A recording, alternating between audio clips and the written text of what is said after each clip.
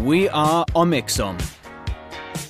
We are 12,000 specialists in electricity, mechanics, ventilation, and much more.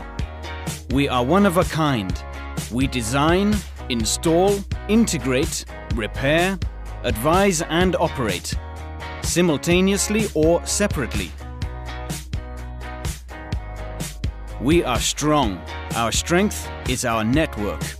We share our experience with each other and optimize our capabilities. Our business units are autonomous, but they also form an excellent fit and support our network. We deliver high performance.